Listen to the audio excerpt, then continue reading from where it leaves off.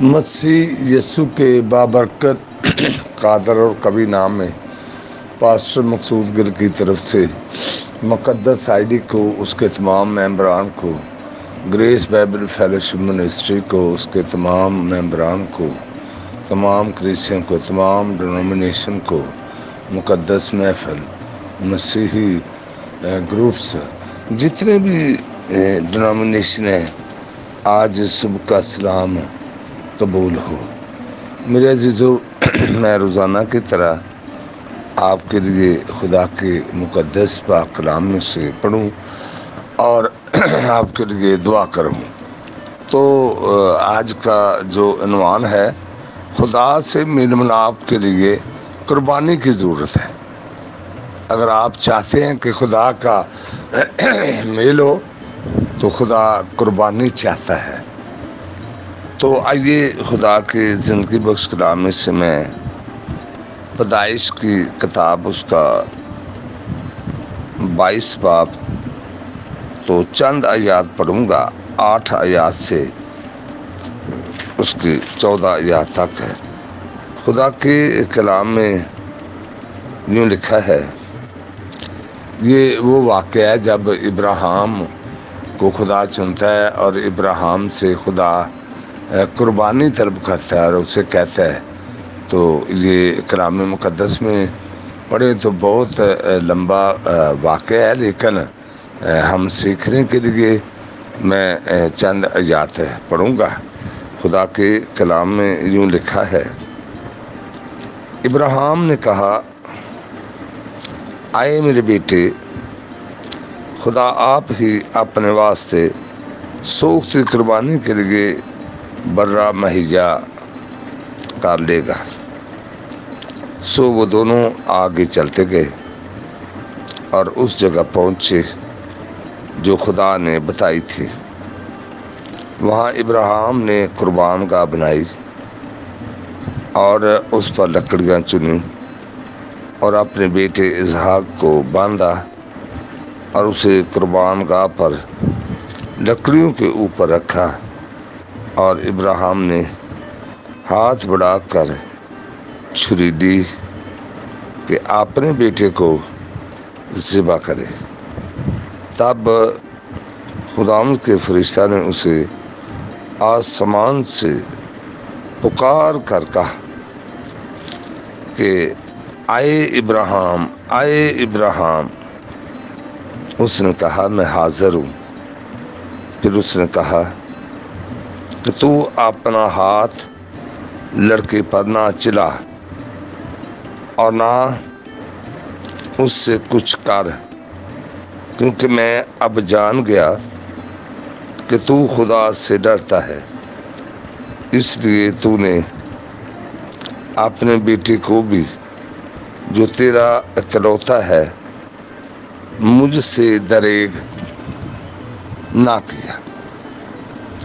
और इब्राहिम ने नगाह की और अपने पीछे एक मेंढा देखा जिसके सिंह झाड़ी में अटके थे। तब इब्राहिम ने जाकर उस मेंढे को पकड़ा और अपने बेटे के बदले सूख कुर्बानी के तौर पर चढ़ाया और इब्राहिम ने उस मकाम का नाम यह यरी रखा। चुनाचे आज तक ये कहावत है कि खुदावन के पहाड़ पर मुहैया किया जाएगा। खुदा के ज़िंदगी बख्श कलाम के पढ़े, सुने और अमल करने पर उसकी ख़ास बरकत मेरे अजीज़ों, जब से ये दुनिया खुदा ने बनाई। आसमान, ज़मीन, समुंदर, कोसार, पहाड़, जब से खुदा ने बनाए और छः दिन में उसने ये काम मुकम्मल किया। और जब उसने छठे दिन आदम को बनाया तो उसने सातवां दिन आराम किया। अब जो हमारा मुखालफ है, जब दुनिया में गुनाह आया तो खुदा ने इस गुनाह को मिटाने के लिए तौर तरीके इस्तेमाल किए और खुदा ने ये बताया कि बगैर कुर्बानी के मखलसी ने तो जब उसने इब्राहिम को चुना तो इब्राहिम खुदा पर ईमान लाया और खुदा ने इब्राहिम को आजमाया और उससे कहा कि जो तेरी कीमती चीज़ है, प्यारी चीज़ है, जिससे तू बहुत ज़्यादा प्यार करता है, वो मेरे लिए कुर्बान कर। अब इब्राहिम का बेटा अजहाक जिससे वो बड़ा प्यार करता था, और वो मिला भी उससे बड़ी मुश्किलों से, वादे का फजानदा है तो वो इब्राहिम अपने बेटे को लेकर उस जगह की तरफ़ चल पड़ा, जो खुदा ने बताई थी कि उस पहाड़ पे वहाँ जाकर तो उसे कुर्बान कर। तो अजहाक अपने बाप से पूछता है कि आए बाप, कुर्बानी देने जा रहे हैं तो हमारे पास वो बर्रा तो है नहीं, जिसकी तू कुर्बानी करेगा। तो इब्राहिम ने कहा कि खुदा आप मुहैया करेगा। जब उसने लकड़ियाँ चुनी, सब कुछ किया, मजबा बनाया, कुर्बान का तैयार की तो उसने कहा कि बर्रा नहीं है। तो इब्राहिम ने कहा कि खुदा आप ही मुहैया करेगा। उसने कहा, बेटा मैंने तुझे कुर्बान करना है। और बेटे ने भी कहा, ठीक है, बाप आप कर दे। तो उसने उसे बाँध दिया। बाँध के लकड़ी के ऊपर रखा और उसे कुर्बान करने लगा और उसने अपना हाथ बढ़ाया, छुरी पकड़ी। लेकिन उसी वक्त खुदा ने कहा, आए इब्राहिम आए इब्राहिम ऐसा ना कर, लड़के पे हाथ ना चला। वो रुक गया। तो उसके पीछे झाड़ी में बर्रे के सींग फंसे हुए थे। और खुदा ने कहा, वो बर्रा है। फिर इब्राहिम ने वो बर्रा लिया और उसे कुर्बान किया। मेरे अजीजों ये खुदा की तरफ़ से है। खुदा से मेल मिलाप के लिए कुर्बानी की ज़रूरत पड़ती है। हमारा खुदा हमसे बहुत प्यार करता है। जिस तरह इब्राहिम ने अपने बेटे का कुर्बान करने के लिए इनकार ना किया, बल्कि उसने अपने बेटे को कुर्बान कर दिया। ये तो खुदा है ना? खुदा की मर्ज़ी है। उसने फ़ौरन रोक लिया वरना उसने तो छुरी चला देनी थी। ये खुदा की मर्ज़ी है। और तब से ही उस पहाड़ का नाम पड़ गया है यह हवा यरी। अभी भी हम कहते हैं तो यह हवा यरी है यानी तू मुहैया करने वाला है। हमें पता भी नहीं होता पता नहीं खुदा कहाँ कहाँ से हमारी ज़रूरियात को पूरा करता है। सो मेरे जीजो